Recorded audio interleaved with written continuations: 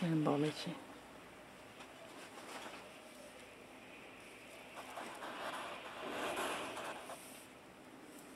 Ja, mag je straks in een groepje.